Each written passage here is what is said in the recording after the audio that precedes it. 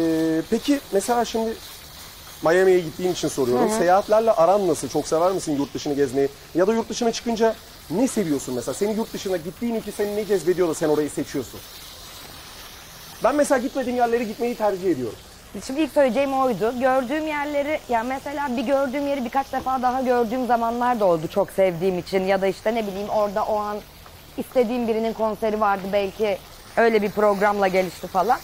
Ama benim tercih ederken ki önceliğim görmediğim bir yeri görmek. Değil mi? Tabii. Ee, tatilde sevdiğim şey yani benim tanımadığım bir ülkeye gittiğimde beni ilk çeken şeylerden biri yemek oluyor. Eğer o güzel bir yemek kültürü Harika. varsa. E, listelerimi yapar giderim yani hani bellidir önden. Ha, mekanları falan da araştırıyorsun Tabii yani. nerede yenir hani lokal öneriler nedir. Evet. Bir de şeyi seviyorum gittiğim yerde ilk iki gün turist gibi gezdikten sonra üçüncü dördüncü gün biraz lokal daha Takılmayı. turistlerin değil de yerlisi yerli halkın, halkın içine karışma. nerede yediği nerede içtiği gibi.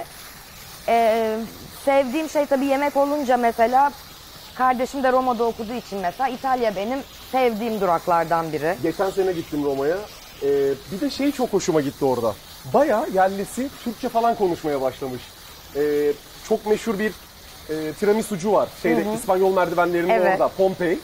Ee, sipariş vermeye girdim. İtalyanca söylemeye çalışıyorum. Hani kendimce böyle bir şeyler kelimeler üreteyim falan. Türk müsün dedi. Sen İtalyan mısın dedi. evet dedi. Peki dedim nasıl Türkçe öğrendin? Benim ev sahibim Türk dedi. Ben Ya. çok çok şaşırmıştım o gün orada. Bayağı seviliyoruz aslında orada. Bir çok benziyoruz aslında İtalyanlara. Yani evet İtalya'da benziyoruz bizim tabii ki dizileri falan da sevdikleri için Değil mi? e, ya Akdeniz kültürü tabii ki birbirine Yani. de yakın bir tarafta. Mesela Barcelona'yı ben çok severim. Biberleri de alıyorum. Tavukların rengi nasıl bu arada? Çok iyi oldu. Müthiş Tam istediğimiz gibi gözüküyor. oldu. Şöyle tavuklarımızı da O aldık. zaman renkli biberlerimizle tavuklarımızı bir tur daha çeviriyoruz sanırım. Aynen öyle. Şimdi onun içerisine artık susam yağını da ekleyebiliriz. Susam yağı kullanmamızın özel bir sebebi var mı? Çok yani aromatik bir lezzet. Tadından ötürü. Tadından ötürü çok aromatik bir lezzet ve Bir de çok mutfağında sağlıklı çok sanırım.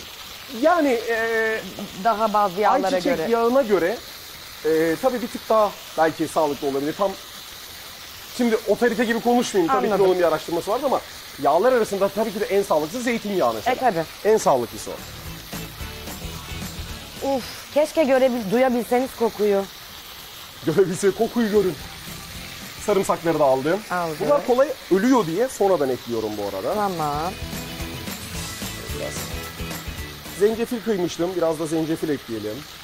Şöyle zencefilleri de ekledik. Sağlık koyduk biraz da. Oh. Biraz taze soğan sona saklayacağım. Ben şimdiden doğrayayım onu. Şöyle yapalım. Yeşil tarafı lazım bize.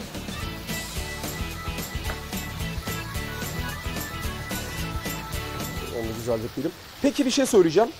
Ee, o kadar yer gezdin. İlla ki en sevdiğin, şimdi Asya mutfağını sevdiğini biliyorum. Söyledin, bir denemek istedin.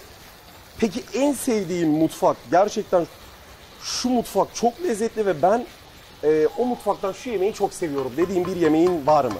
Allah sana bir şey söyleyeyim mi? Ne hani bulsam dünyanın her yerini gezdim falan gibi bir durumum yok.